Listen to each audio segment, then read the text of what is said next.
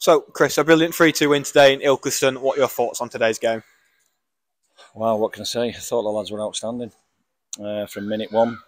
Some of the football we played in the first half was, you know, outstanding. I thought the third goal, I mean, we've had three goals disallowed in a period of the game where we was totally dominating. And uh, I thought the third goal that was disallowed was was well onside. And it should have been more of a, a comfortable scoreline with how well we played. But we can't take nothing away. It's all down to the players today. You know, I've treat, tweaked one or two things, changed the shape, asked them to do one or two things that they've they've not done uh, a lot of under obviously the, the previous manager. But I, I, felt our football at times was, yeah, it was a joy to watch. Uh, David Norris and Charlie Bailey both got on the score sheet today. But how important was it for Charlie Bailey to get that first goal so early in the second half? Yeah, I mean, obviously that really did settle us down. Um, yeah, again, the, the two goals were conceded. Uh, we are disappointed. You know, with the set piece, I thought the uh, the way we responded off the back of that, because I felt we were on top at that time. It was a slight setback, but um, you know, we put that to bed, that disappointment, and uh, scored a couple of good goals. And like I say, we've had three goals disallowed in the first half, and on another day we could have been comfortably winning at half time. And uh, yeah, as I say, second half, we've had to dig deep, keep disciplined, be responsible in our shape as they started to throw bodies forward and uh, get something out of it. You know, there isn't too many teams going to come here and um, do to them what we've done to them today. So all the credit goes to the players.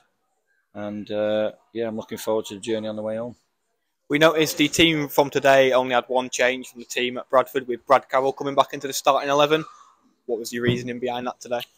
Yeah, tough one. You know, Matty's not done too much wrong, um, but I just felt we needed um, change of shape and, and match them up. Uh, and for me, it was the right decision. Players won't see that because they want to play. You know, I've apologised for Matty for leaving him out, and that's just the nature of it. You know, but he'll come again. He'll get in the team and, and play. You know, plenty of minutes for the club between now and the end of the season. But uh, Brad Carroll coming back in, he needed some minutes in his legs. He's trained really well.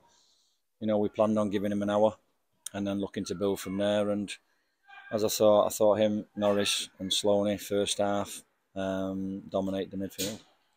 We face Workington next Saturday at home. How can we maintain this unbeaten run going? Well, the plan is is to try and perform like we've done today.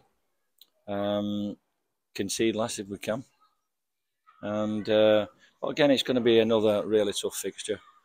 The lads seem to enjoy themselves on the 4G. I must admit, you know, the two performances we've had away from home on 4G. Um, you know, we've scored six goals. We've looked very threatening uh, a couple of different shapes. So that's really pleasing from my point of view.